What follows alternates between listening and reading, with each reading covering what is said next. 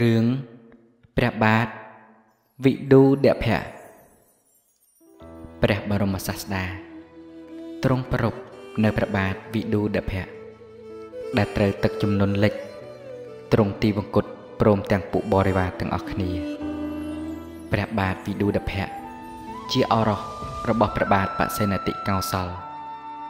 ព្រះមេដាទ្រង់ព្រះនាមវាសភៈខត្តយា ជាធីតា របស់ព្រះមហានាមសក្យរាជកើតអំពីនាងទាសីនៅពេលដែលព្រះបាទវិឌូដភៈមានវ័យកុមារនោះទ្រង់បានយាងទៅសួរសុខទុក្ខ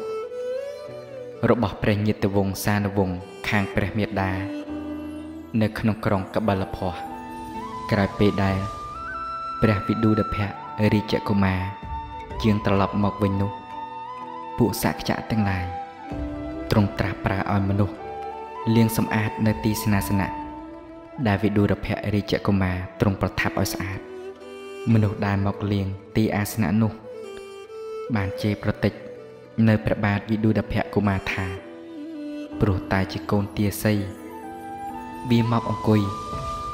នៅត្រង់ទីនេះហើយ បានជាអញត្រូវពិបាក មកដោះលាងសម្អាតអាសនៈនេះព្រះបាទវិទូរភៈ ទ្រង់ពិរោធខ្លាំងណាស់បានចងគំនុំគុំគួននឹងពួកសក្យរាជតាំងពីពេលនោះតរៀងមកលុះព្រះអង្គបានឡើងគ្រងរាជហើយទ្រង់បានលើកកងទ័ពជាច្រើន ដើម្បីទៅសងសឹកយកឈាមរបស់ពួកសក្យរាជមកលៀងទីអាសនៈនោះវិញ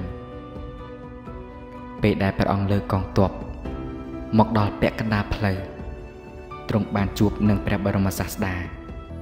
ទ្រង់ជ្រាបថាព្រះពុទ្ធជាម្ចាស់ច្បាស់ជាយើងមកក្នុងទីនេះ ដើម្បីហាមឃាត់ព្រះអង្គកុំឲ្យលើកកងទ័ពទៅសម្រាប់ពួកសក្យរីពុំខានហើយទ្រង់បានលើកកងទ័ពត្រឡប់ទៅព្រះនគរវិញ ក្រោយមកព្រះបាទវិទូរភៈក៏បានលើកកងទ័ពទៅសារជាថ្មី ហើយបានជួបនឹងព្រះបរមសាស្តាដូចលើកមុនទៀតទើបទ្រង់លើកតបវិលត្រឡប់មកកាន់បរមរាជវាំងវិញយ៉ាងនេះអស់រយៈពេល3ដងនៅលើកទី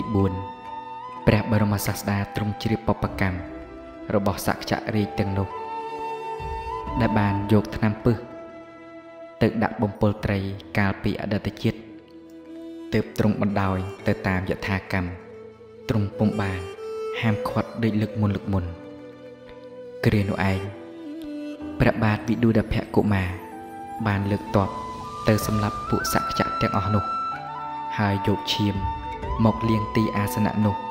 ដោយសេចក្តីគំគួនរបស់ព្រះអង្គដែលបានចងទុកកាលពីលើកមុន ស្រេចហើយទ្រង់លើកកងទ័ពត្រឡប់មកព្រះរាជវាំងវិញ ដល់ពាក់កណ្ដាលផ្លូវទ្រង់ឈប់សម្រាកព្រះកាយ លើវាខ្សាច់ក្បែរមាត់ស្ទឹងអចិរវតីស្របពេលជាមួយគ្នានោះ ស្រាប់តែមានភ្លៀងយ៉ាងធំ បង្អុរទឹកចុះមកលិចគួចយកព្រះបាទវិឌុដភកុមារលងទីបង្គត់ព្រមទាំងពួកបរិវារទាំងអស់គ្មានសេះសល់ឡើយពួកភិក្ខុទាំងឡាយបានប្រជុំសន្ទនាគ្នា អំពីរឿងព្រះបាទវិឌុដភកុមារព្រមទាំងពួកបរិវារដោយប្រការផ្សេងផ្សេងព្រះបរមសាស្តា ទ្រង់យាងមកក្នុងទីប្រជុំនោះហើយទ្រង់ត្រាស់ថាមនាលភិក្ខុទាំងឡាយកាលបើមโนរត់របស់សត្វទាំងឡាយទាំងអស់នោះមិនទាន់បានដល់ទីបំផុតនោះទេមច្ចុរីកបានកាត់ផ្ដាច់នៅជីវតន្ត្រីឲ្យធ្លាក់ចុះទៅក្នុងសមុទ្រ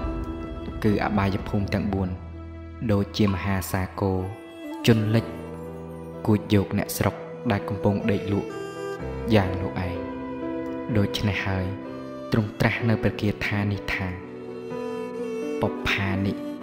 ហេវៈបចិនណតាំងព្យាសត្តៈមនសੰងអ្នករាំងសុតាំងគៀមੰងមហោខោវៈមច្ចុអាទាយៈកេចតិមច្ចុ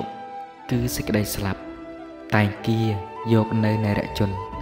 ដែលមានចិត្តចម្ពាក់ក្នុងអារម្មណ៍ផ្សេងផ្សេងកំពុងជ្រើសរើសនៅផ្កាគឺកាមគុណ5នោះឯងដោយទឹកចំនួនធំ